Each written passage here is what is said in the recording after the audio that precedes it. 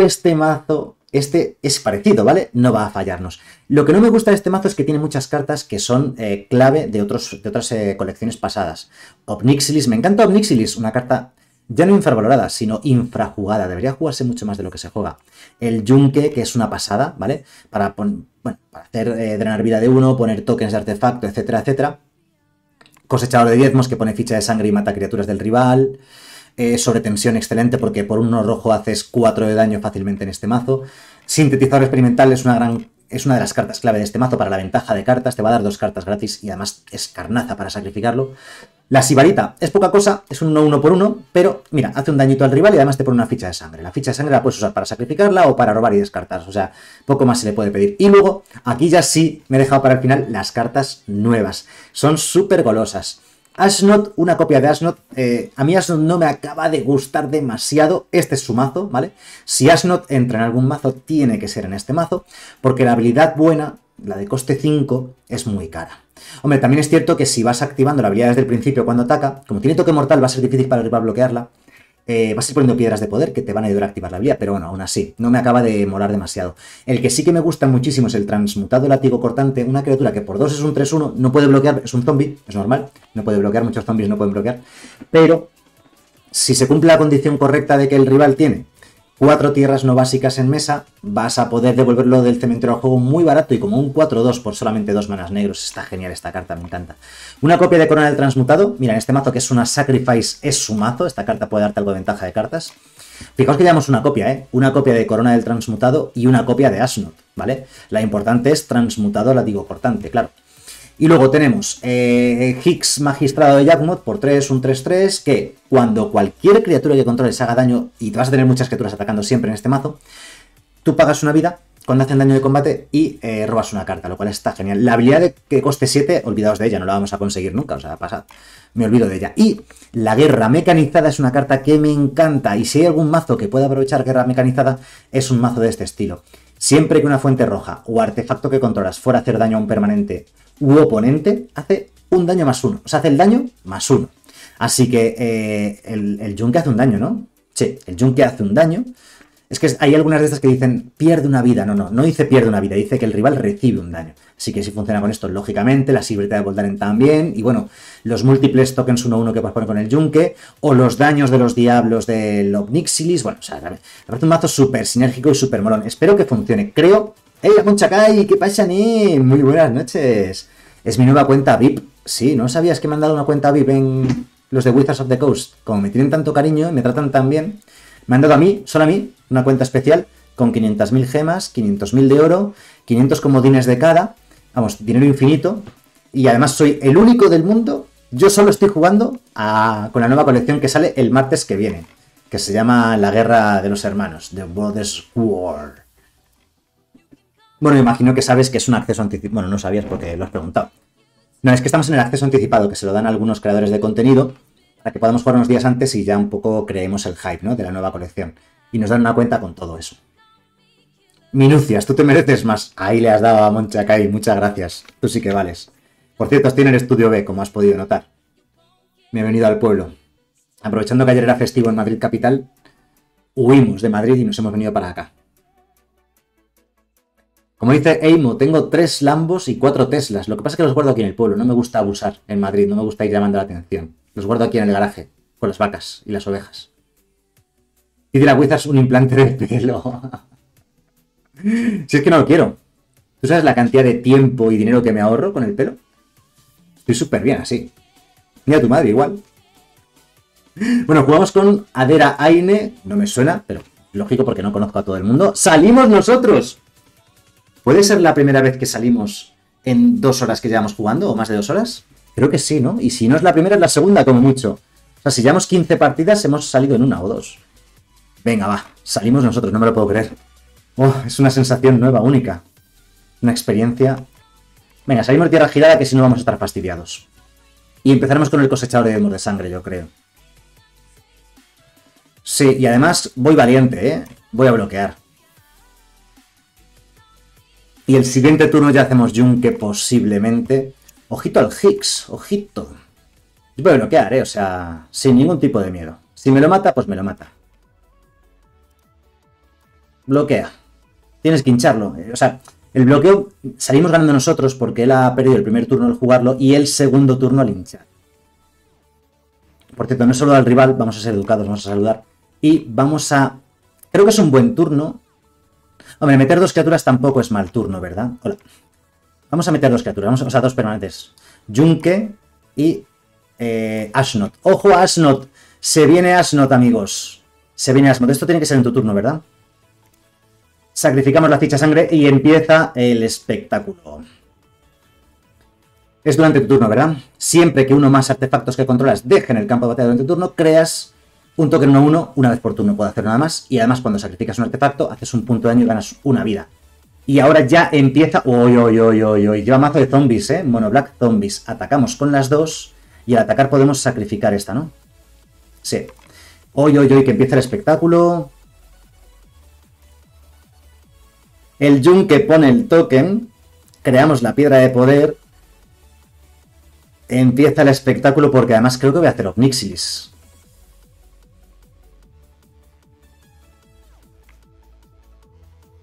Creo que es turno para el Omnixilis.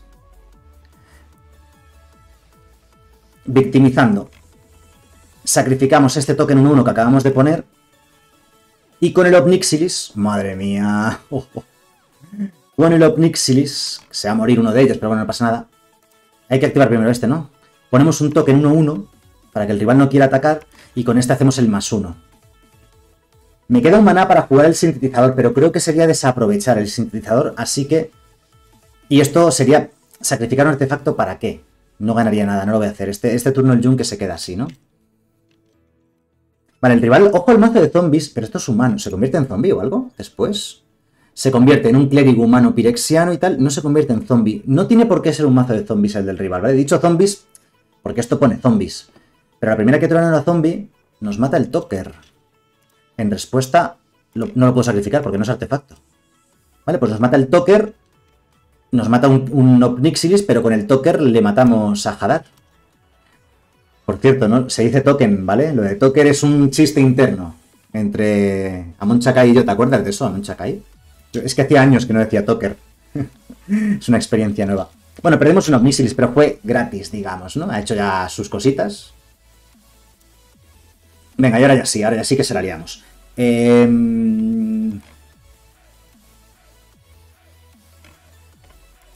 ¿Esto es un demonio?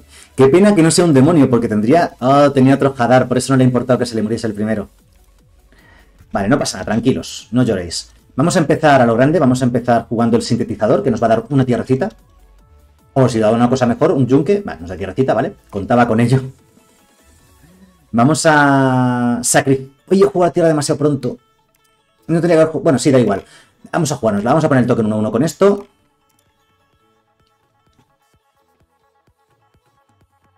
Nos da un yunque. Jo, jo, atacamos, sacrificamos la criatura, con lo cual el yunque que acabamos de jugar nos pone otro, otra criatura. A ver si bloquea o no bloquea. No bloquea, vuelve a comerse el daño, ya ha bajado a 12. Oye, este mazo es divertidísimo. Esto no será demonio, ¿no? Es zombie, hemos dicho. Más uno. No sé de qué va el mazo del rival, ¿eh? Todavía. No, le veo una estrategia... Ah, tiene, por cierto, cuidado. Lleva fundición de mirra, que se puede convertir pagando dos en una criatura 2-2. Y vamos a jugar esto. Vale. Eh, sé, sé que estáis echando de menos que juega Higgs Magistrado de Yagmoth, pero tampoco tenía una prisa loquísima por meterlo en mesa. Yo creo que ya a partir de este turno ya sí lo meteremos en mesa. Este transmutado es muy mediocre, no puede bloquear y además el rival nunca va a tener cuatro tierras no básicas como estáis viendo.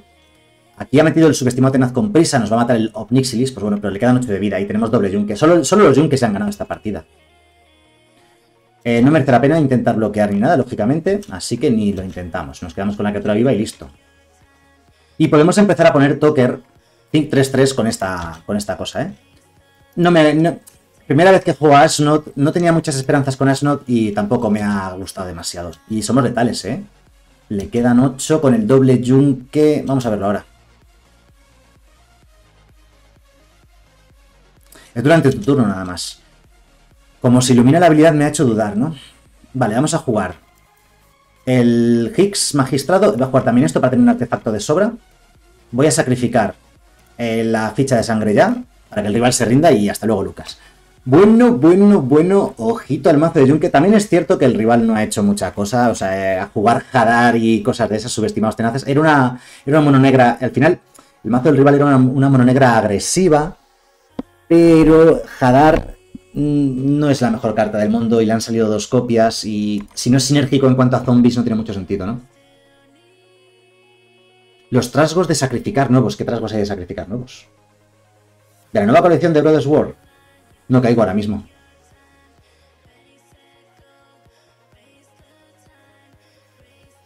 No caigo ahora mismo a qué trasgos te refieres, pero porque soy tengo mala memoria y la colección es nueva todavía no he visto muy bien todas las cartas, ¿no? Ah, el trasguito que hace menos uno, menos uno. Es una buena opción. El problema de ese trasguito es que ese trasgo ya existía, el trasgo purulento se llamaba antes. ¿Se llama igual o se llama distinto? Creo que se llama distinto. El problema es que si te enfrentas a un mazo que no lleva criaturas, pues hace poca cosa. Por eso no se juega en este mazo. Pero no es mala idea, ¿eh? Se podría llevar el trasguito ese. Es 1-2. No es 1-1 como el antiguo. Ah, el que se hace 3-2. Eh, jugamos contra el solo se podría meter en este mazo, pero no es la idea, no es un mazo agresivo. Jugamos contra nuestro buen amigo Rap Solo, excelente persona, excelente creador de contenido. La mano que tenemos no es ninguna maravilla, pero me la voy a quedar igualmente. Porque Rap Solo va a jugar, ya os lo digo, una mano blanca agresiva. No, Crixis, vale, vale. Salgo de tierra eh, enderezada, tendría que haber jugado tierra girada, pero tampoco pasa nada porque no, no importa. Así tenemos el mana para la sobretensión por si él empieza a jugar cosas agresivas desde el principio, que no es el caso. Y ojito, dos tierras no básicas. El transmutado látigo cortante se empieza a frotar las manos. Fue una Grixis de control o midrange, supongo, en el mejor de los casos. ¿Qué hace el rayo? Lo exilia. No me lo puedo creer. ¿Cómo puede ser tan mala persona? Vale, vamos a jugar ese utilizador a ver si nos da tierra. Y si no nos da tierra, posiblemente jugamos el transmutado. Nos dio tierra girada. Oh, qué rabia. Vamos a perder esa tierra girada porque quiero meter criatura en mesa este turno. El siguiente turno es posible que juguemos el Omnixilis. El Omnixilis le duele mucho a los mazos de control. Lo que pasa es que esta Grixis que lleva chispas así como el rayo aniquilador... Mmm. Qué lástima, ¿eh? Rayo aniquilador, Zas. Esta chispa, ¿por qué juegas eso? Eso no juega nadie. Lleva contrahechizos, lleva de todo. Voy a jugar esto y nos lo va a contrarrestar. Pero bueno, vamos a probar suerte, a ver qué pasa. Lo va a contrarrestar, pero tenemos otra tiene tres tierras no básicas, que es lo que queremos del transmutado. Hacer desaparecer. Vale, no pasa nada, tenemos más. Y ya pegamos de tres por primera vez, por fin. Así que empezamos a meter un poquito de presión, que al final es la idea. Este mazo Rakdos sí que me gusta mucho. Ya me gustaba muchísimo el año pasado. Mata, pero podemos rejugarlo con un poquito de tiempo. Eh, nos falta el segundo mana negro, por cierto, para rejugarlo desde el cementerio. Ya robaremos el mana negro, ¿no? Esperemos. Y, uy, más fase principal se gira para robar. Le podemos meter Obnixilis y además, como tengo dos Omnixilis, creo que no es una tontería meter uno en mesa. Sí, ojalá pudiese victimizar, pero no puedo porque solamente funciona con criaturas. Ha entrado Omnixilis, así que va a empezar a hacer daños. Menos dos o más uno. Voy a hacer más uno. Esto hace daño a Planeswalkers, ¿verdad? Esto. Esto hace cuatro daños a Planeswalkers. Pero toquemos madera para que solamente tenga erosionar. Oh, el Teferi. El Teferi es muy bueno. Ya lo dije en el análisis de la colección, es una carta muy buena, me mola muchísimo esa carta. Y ha hecho el menos 2 para poner un token 2-2 que crece a medida que roba cartas. Segundo mana negro para nosotros, por cierto. Voy a intentar. Voy a intentar eh, ganar con Obnixilis a base de hacerle perder vidas al rival. Esto lo podemos hacer a velocidad instantánea, ¿verdad? Esta carta está rotísima, ya os lo voy diciendo que la carta está rotísima. Eh, y voy a matar esto ahora. Sin sacrificar, sin sacrificar nada. Dos daños, vale. Porque él podría con un mana azul robar una carta en respuesta o algo por el estilo y, la teníamos liada. Y diréis, ¿podrías haber jugado esto antes de hacer las cosas? Pues sí. Pero sinceramente pensaba que me lo iba a contrarrestar. Lo que vamos a hacer es no hacer... Espérate, esto hace daño a Planeswalkers. Me, había olvidado completamente de que la sobretensión hacía daño a Walkers, matábamos el Teferi. Vale, pues entonces esto, al final de su turno lo jugamos desde el cementerio. Esta carta está muy rota, ¿eh? Ya me estoy dando cuenta de lo buena que es. Ha jugado tierra no básica, por tanto tiene cuatro tierras no básicas. Tenemos unos Mixilis con cinco contadores. Sí, sí, me olvidaba de que esto hacía daño a Prince Walkers. Me he acordado ya en último momento. Pone otra vez un token 2-2. Yo también tengo criaturitas.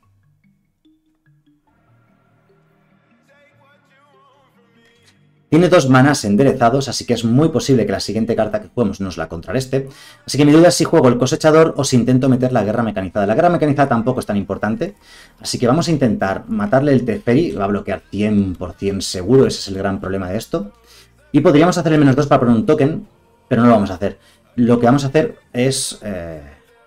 es que nos falta una tierra, ¿eh?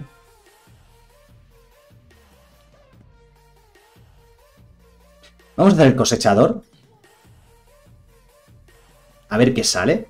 Y de hecho, ah, voy a hacer el más uno de esto otra vez. Es un turno un poco perdido, ¿verdad? Un poco malo. Le voy a dar turno. Le damos turno. El 0 roba carta, siempre que roba carta le pone contadores, o sea que esto crece muy rápidamente. El menos 2 pone el token 2-2 que gana contadores más 1 más 1 cada vez que roba carta. Vale, pone otra vez el token. Me queda enderezado porque con el cosechador podríamos matar este token o atacar al Teferi. Ha hecho el menos 2 con el Teferi, lo cual es interesante. Y, joder, pero ¿cuántas chispas llevas? Nos mata el cosechador, le quedan 14 de vida. Empieza a temer por tus vidas. Y sacrificamos. ¿Qué nos descartamos? Hombre, sinceramente, tiene una carta en mano. Sinceramente, el Teferi, ¿no? Que tenemos demasiados Teferis. O sea, el Onixilis, que tenemos demasiado Onixilis, ¿verdad? Y buscamos otra carta más interesante. Otro cosechador y por fin salió el Yunque. Con el cual vamos a empezar. Esperemos que no lo pueda contrarrestar. Vale. Y empezamos sacrificando el sintetizador experimental para jugar carta extra este turno. Que es una tierra, justo lo que estaba pidiendo no tenemos doble negro para esto, pero sí tenemos para hacer la guerra mecanizada. Que creo que posiblemente sea la mejor opción porque parece que no tiene counter, efectivamente. Pues vamos para adelante. Y aquí ya está esto ganado, porque en lugar... Es perder vidas, vale. El Obnixilis es perder vidas, por tanto no tiene sinergia con la guerra mecanizada. Pero sí tiene sinergia con la guerra mecanizada el Yunque porque es hacer daño. Cuidadito con esos matices, ¿vale? Hey Javi, muy buenas noches, bienvenido. Podemos hacer el menos 7 le hace perder 7 vidas y roba 7 cartas. Aunque podemos robar nosotros 7 cartas, tampoco está mal, ¿no? Robar 7 cartas. 4-4, vigilancia.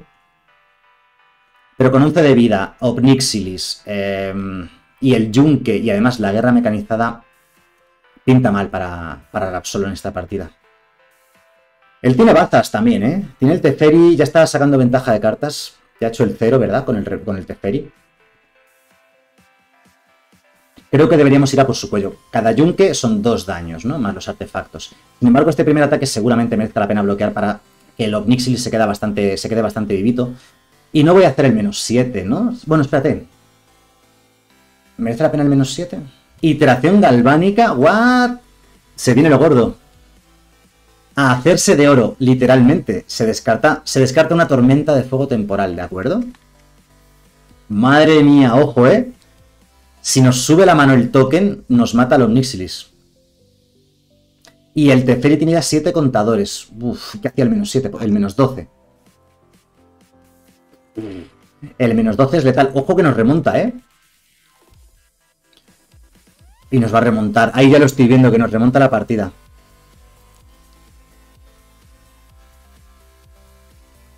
Nos va a remontar la partida, ¿eh? Me lo estoy empezando a temer. Ahí está. Nos mata el token, nos mata el Obnixilis, nos gana la partida. Qué liada. De hecho, es que nos ganan dos ataques si nos ataca a nosotros. Pegando nueve. Madre mía, qué buena. Hay que felicitarle porque realmente vaya remontada. Y no tenemos nada, básicamente. Tenemos... Em, cosechador de diezmos. Yo creo que es la mejor de las opciones en esta situación. Para hacerle daños extras, sacrificamos eh, la ficha de sangre. Jugamos otro cosechador que nos pone otro artefacto. Le quedan 9 de vida, pero es que no, lo matamos, ¿eh? Esto sube a 9 contadores, esto sube a 10, 10. necesita algo también, es cierto. Otra iteración galvánica, madre mía. Otro hacerse de oro, uff. Vale, por cierto, vengo defendiendo este Teferi desde el primer día. Lo he defendido cuando analicé la colección, lo he defendido hoy Y en la partida ya se está defendiendo él solito, ¿verdad? 13 contadores. ¡Qué locura! Me voy a rendir porque no sé ni cómo... O sea, decir, sencillamente perdemos la partida. ¡Madre mía! Estaba perdido, no tenía nada. Y de la nada, de una carta en mano. Teferi nos ha ganado entero. Solo el Teferi con el token. Solo el Teferi y el token. Bueno, sí, iteraciones galvánicas más eh, hacerse de oro, que es cierto que es una combinación brutal, ¿no? Pero ha sido casi automático. Así que nada, enhorabuena, partidaza. Muy bueno, por cierto, tremendo. Perdonadme que como un poco, pero es que son ya las 11 de la noche. Llevo en directo un montón de horas. Y Pablo, muchas gracias por el follow. De lento nada. Ha pasado de 0 a 100 en dos turnos. Literalmente de 0 a 100, dos turnos. No es lento, es un Azorius de control. Me ha parecido buenísimo el mazo, muy muy bueno.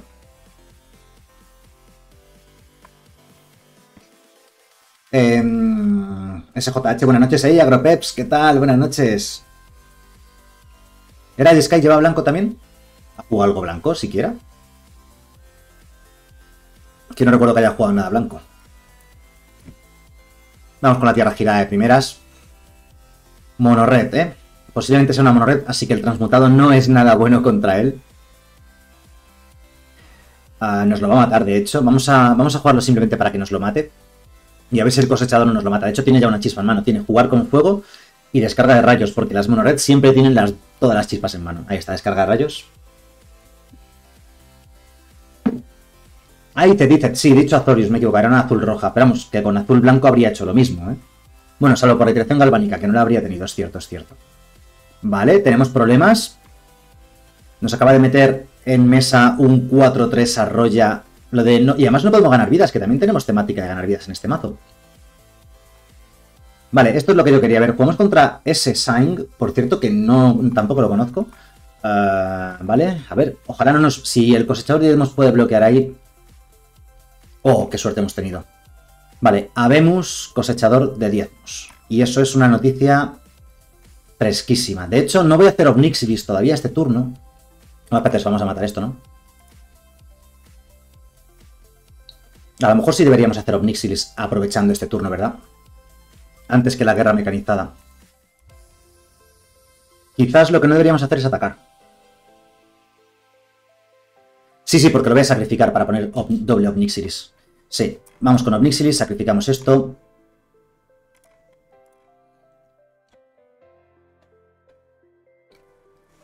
Y la cuestión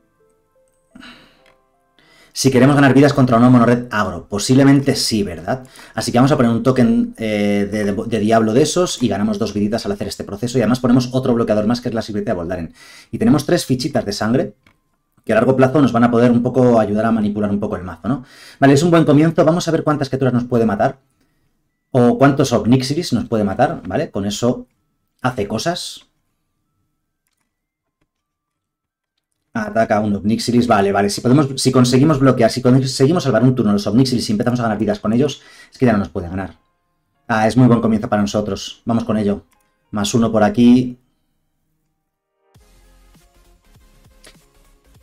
Quizás tendríamos que haber hecho la guerra mecanizada antes, ¿verdad? Tenemos que haber hecho para empezar el sintetizador, a ver qué salía. Tendría que haber empezado con el sintetizador, mal por mí, ¿eh? Mal por mí, lo he hecho yo mal. y otro más uno por aquí. Subimos a 25 vidas y él baja a 13. Sí, sí, sí, me he equivocado, ¿vale? No pasa nada. ¿Pasas qué cosa? Tendríamos que haber puesto en mesa la, la, guerra mecanizada antes de hacer el primero Omnixilis. De hecho, tendríamos que haber empezado lo primero, sintetizador, a ver qué es lo que nos daba. O sea, mal por mí, muy mal, un cero. Bueno. Y ojo, porque esto significa que nos mata a los dos Omnixilis. Si quiere. Todo tiene prisa. Bueno, nos mata a nosotros. Pega 4 y 4, 8 y 4, 12. Y ataca con todo a 1. ¿Estamos locos? Ese ataque no tiene ningún tipo de sentido y le va a costar la partida probablemente, ¿eh? Esto se puede jugar por 6, ¿eh? No bloqueo. ¿Y ¿Nos está atacando el que es legendario? Ah, no, no, se ataca el que es una ficha, vale, vale. Eh, podemos jugar otro Obnixilis y seguir haciendo daños sueltos, ¿eh? Lo decía por descartármelo con la ficha de sangre o no descartármelo. Bien, pues seguimos. Más uno por aquí. Hay que es de perder dos vidas, por cierto que no tiene sinergia con la guerra mecanizada. Lo dije antes, antes lo dije, que Omnixilis es perder vidas, por tanto no funciona con la guerra mecanizada. Antes lo dije, lo dije bien y ahora lo he dicho mal. Voy a atacar, de hecho, o sea... Y hacemos un segundo Omnixilis. Quizás poner otro token sea la mejor de las opciones, porque el token al morir hace otro daño. Nah. Vamos a jugar un segundo Omnixilis, victimizando este token. Es que realmente eh, le falta tan poco... Le hacemos el daño a él, que son dos daños. Es que vamos a ganar solamente con estos tiros. Así, pim pam, pim pam. Y entonces tenemos, nos quedamos con el nuevo Omnixilis y hacemos perder otras... otras... Ojo, espérate. Podríamos poner otro token más. Y así ganamos más vidas, no hace falta, ¿no? Vamos a poner el más uno por aquí. Que así tiene que atacar con más a cada Obnixilis. Y otro más uno por aquí. Lo dejamos ya a 3 de vida y es ya prácticamente... Prácticamente letal teniendo en cuenta que tenemos guerra mecanizada. A poquito que robemos algo, pues ya estaría. Tiene que atacar con uno aquí y con dos criaturas aquí. De modo que quita bastantes bloqueadores de en medio. Le quedan tres vidas. En cuanto robemos un yunque, es que sabéis que en esta partida no hemos robado ningún yunque, pero lo vamos a buscar ahora con las fichas de sangre. Se queda con un único bloqueador en mesa. Uy, además robamos el removal. Qué top deck, ¿no? Qué suerte. Le matamos el único bloqueador que le quedaba. Y pegamos de 3 y ganamos, ¿no? Ay, qué suerte hemos tenido en esta partida. Bueno, pegamos de 3 más 1 por la guerra mecanizada. Y si lo hemos comentado en todas las partidas, la guerra mecanizada funciona con daños, pero Omnixilis es perder vidas, que lo he dicho varias veces. Em, perder daños, por, o sea, hacer daños, por ejemplo, sí es el yunque. Pero bueno, igualmente funciona. Este mazo está bien, este mazo es jugable. No sé hasta qué punto es competitivo como para en estándar plantar cara a los mejores mazos. Pero, joder, es muy divertido, muy bonito mazo de yunque de sacrificar artefactos, así que yo creo que, yo creo que es un mazo muy a tener en cuenta.